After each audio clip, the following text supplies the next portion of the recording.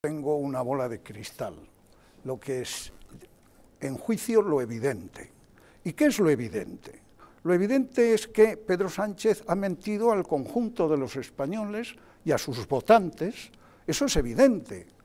¿Por qué es evidente? Porque poco en plena campaña electoral decía, por ejemplo, necesito un vicepresidente que defienda la democracia española, que diga que este país tiene un Estado social y democrático de derecho, que el Poder Judicial es independiente del Ejecutivo y que aquí no se persigue a nadie por sus ideas. Y resulta que tiene un vicepresidente que dice justamente lo contrario de lo que él decía.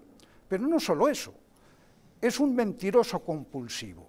Pero bien, es el que más votos, el que más escaños tuvo y por tanto la capacidad para intentar formar gobierno. Él ha elegido a sus socios. Y la segunda traición al lenguaje y a las ideas, sobre todo a las ideas de un socialdemócrata, que él se, se llama a sí mismo socialdemócrata, es decir que ha hecho un gobierno con la mayoría progresista de este país. Claro, es inconcebible. Pero eso es una traición al lenguaje, a las ideas, Todavía no ha empezado a traicionar al país, ya lo veremos. Eh, eso es lo que digo, porque decir que es un gobierno progresista aquel que se hace con comunistas y con independentistas y con los que no piden disculpas de los asesinatos cometidos por ETA, pues es un sinsentido, es imposible.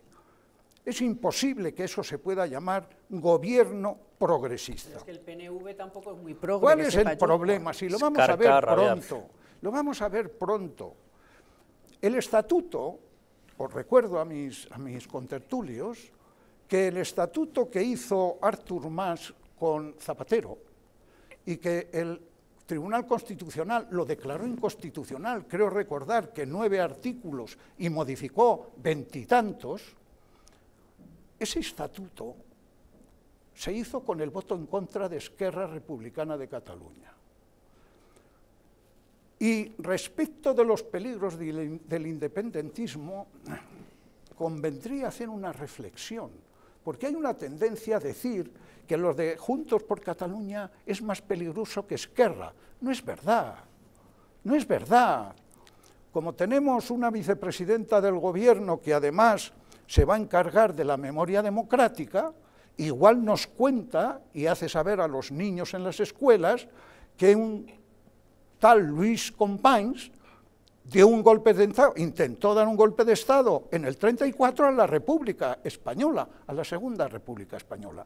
¿De qué partido era? De Esquerra. Por tanto, eso de que lo va a arreglar con Esquerra, con un estatuto, vamos a verlo.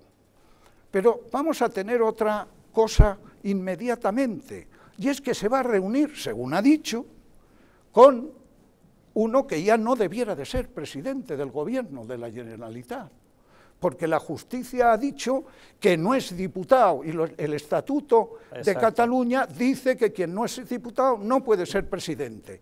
Y la pregunta es, ¿le va a tratar igual que cuando vino a la Moncloa que parecía un jefe de Estado de un país eh, eh, de, fuera de un país extranjero, ¿cómo lo va a tratar? ¿Cómo lo van a hacer? Ahí empezaremos a saber si lo mal que apunta este gobierno se va consolidando.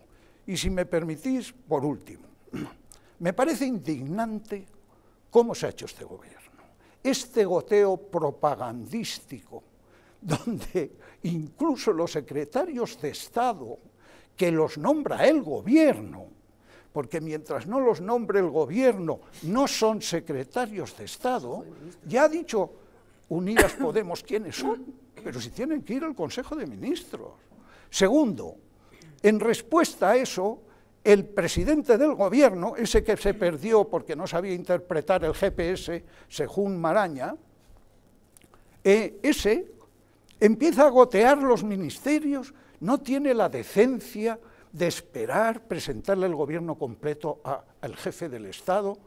Les recuerdo que cuando Felipe González fue investido, bueno, sacó mayoría absoluta para ser presidente del gobierno, fue naturalmente a ver al jefe del Estado, Y cuando salió de la reunión le preguntaron los periodistas, eh, eh, presidente, ¿le ha dicho usted al, rey en la composición del gobierno? Y contestó, se la he dado al lapicero.